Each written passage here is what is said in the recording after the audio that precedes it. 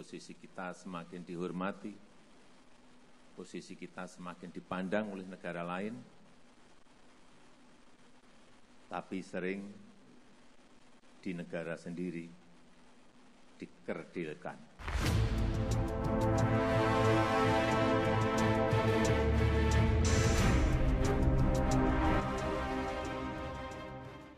Assalamualaikum warahmatullahi wabarakatuh. Salam Nusantara, salam sejahtera untuk kita semuanya. Salam Om Swastiastu, Namo Buddhaya, salam kebajikan, Rahayu. Bismillahirrahmanirrahim. Alhamdulillahi Rabbil Alamin. Allahumma salli ala Sayyidina Muhammadin wa alihi wa sahbihi ajma'in. Ba'du. Saudara-saudaraku sebangsa setanah air yang saya cintai, saya banggakan. Presiden Jokowi memberikan statement yang sungguh mengusik hati kita, menyentuh nurani kita. yakni ketika Pak Jokowi memberikan uh, sambutan pada acara Partai Nasdem hari ini, hari Kamis tanggal 11 November 2021. Beliau menceritakan tentang betapa Indonesia sangat dihormati oleh banyak negara-negara luar di sana, bahkan bukan negara-negara kecil yang menghormati Indonesia, tetapi negara-negara besar, negara-negara maju. Hal itu ia sampaikan eh, sembari menceritakan terkait dengan eh, kunjungannya beberapa hari lalu di acara KTT G20 di Roma. Nah, eh, Pak Jokowi merasa sedih akan adanya kenyataan yang eh, apa namanya yang sebaliknya di tanah air Indonesia ini, di negaranya sendiri. Betapa Indonesia dihormati oleh banyak negara-negara maju, banyak permohonan bilateral, akan tetapi justru banyak orang-orang sendiri yang mengkerdilkan Indonesia ini. Diagungkan di negara luar tapi dikerdilkan, direndahkan oleh orang-orang di negaranya sendiri.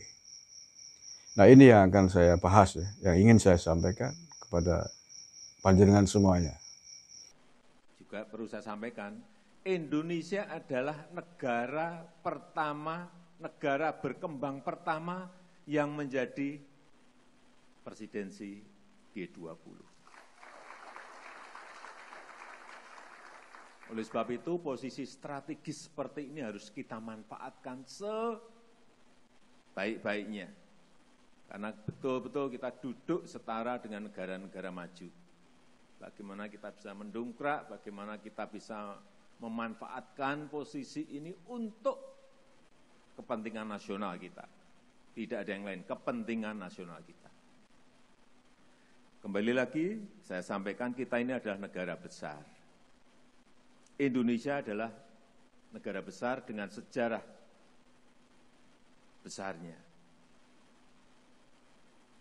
Dan kita ingin betul-betul sekali lagi kita manfaatkan ini untuk mempengaruhi kebijakan-kebijakan dunia dalam rangka apa pun. Tapi yang sering saya sedih.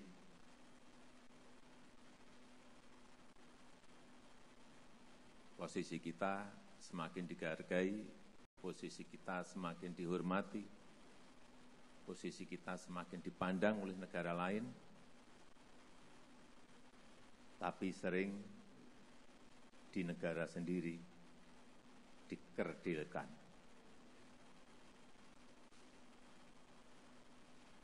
yang sering membuat saya sedih. Pada pada posisi itu sebetulnya baik pada keketuaan presidensi G20 ataupun nantinya setelah ini menjadi ketua ASEAN mestinya Indonesia sebagai bangsa dihormati dan juga warga negara Indonesia ini juga akan merasakan semuanya warga kita kehormatan itu. merasakan akan kehormatan itu. Dan saya juga ingin, kita semuanya juga ingin, warga negara kita ini juga dihormati, dihargai oleh warga negara lain. Di mana pun WNI kita berada.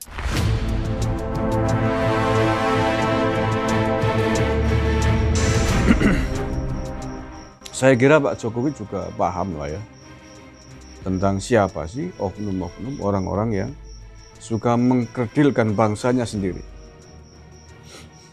Yang hari ini banyak menebarkan permusuhan kebencian kepada negaranya sendiri.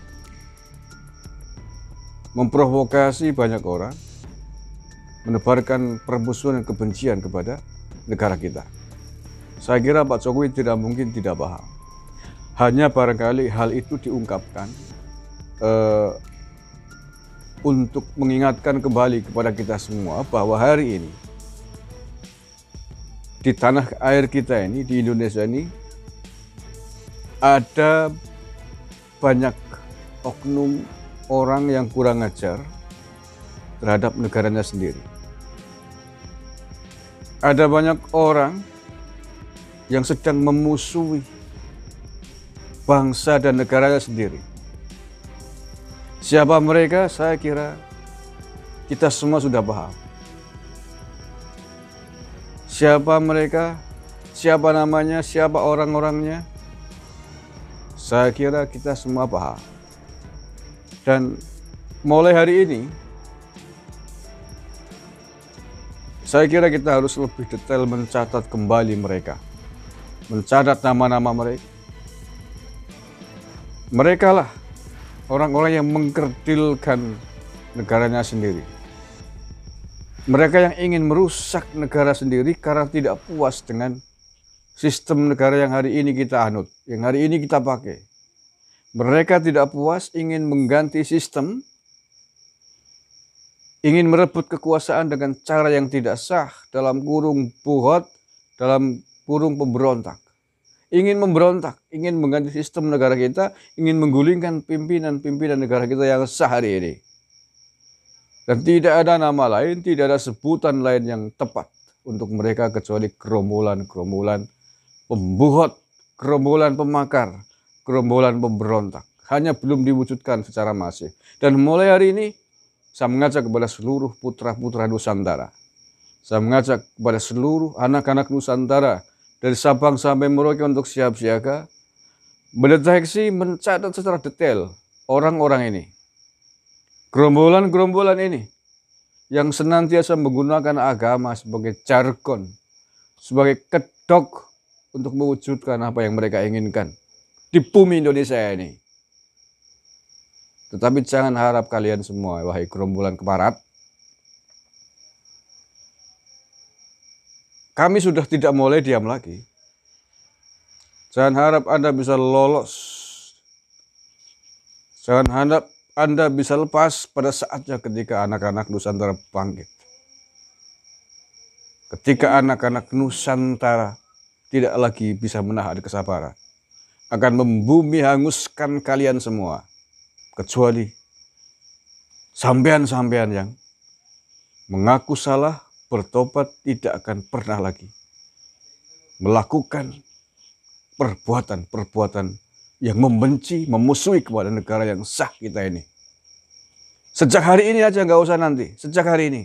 Tunjukkan bahwa kalian berbeda dengan mereka. Tunjukkan bahwa kalian setia dengan bangsa dan negara ini. Tunjukkan bahwa kalian setia dengan merah putih. Jangan hanya diam. Kalau Anda diam, maka kalian adalah bagian dari mereka. Saya peringatkan nih, orang-orang yang satu garis, satu marga, satu daerah asal dengan mereka hari ini, jangan diam. Ketika Anda diam melihat gerakan mereka, berarti kalian adalah teman dan gerombolan, satu gerombolan dengan mereka yang ingin merusak tatanan negara kesatuan Republik Indonesia ini. Sekali lagi kalau kalian diam maka kalian adalah bagian dari mereka. Kita tidak akan lagi pernah diam, tidak akan pernah lagi membiarkan kalian untuk merusak tanah air kita yang kita cintai ini. Tanah air Indonesia yang kita cintai. Sudah cukup lama kita bersabar, sudah cukup lama kita diam. Dan yang terakhir, bahwa yang menebarkan permusuhan kebencian kepada negara hari ini bukan hanya dari darah-darah yang sesungguhnya bukan dari Nusantara ini. Tetapi banyak pula orang-orang yang lahir di tanah air memang berasal dari tanah air dan putra-putra Indonesia. Akan tetapi mereka mengikuti mereka. Akan tetapi anak-anak ini, orang-orang ini, orang hidung pesek, jenggot ngelawir, sebenarnya adalah putra Indonesia, tetapi bersatu, berkomplot, bersekutu dengan mereka. Maka status kalian adalah pengkhianat bangsa dan negara. Dan kalian juga termasuk golongan dari mereka. Catat juga orang-orang ini. Yang menggerdirkan bangsanya sendiri. Mengkerdilkan negaranya sendiri. Memusuhi negaranya sendiri. Walaupun kalian lahir dan berasal dari bibit Indonesia, akan tetapi kalian sekarang bersama mereka, maka kalian adalah bagian dan sekutu mereka. Dan dalam konteks membela tanah air, maka kalian semua adalah musuh-musuh kami semua, musuh-musuh anak bangsa, musuh-musuh anak Nusantara untuk membela tanah airnya, untuk membela kehormatannya, untuk membela jati diri bangsa, untuk membela merah putih yang kita cintai. Sampai kapan pun, sampai titik darah penghabisan. Siapa pun yang ingin memberontak, ingin memusuhi, ingin merusak, ingin merobohkan negara ini, Jangan pernah tanya bahwa Anda pasti akan kita hadapi. Kalian pasti akan kita hancurkan menjadi debu di atas bumi Nusantara ini. Lol muafiq ila. Assalamualaikum warahmatullahi wabarakatuh. NKRI. और गामा आती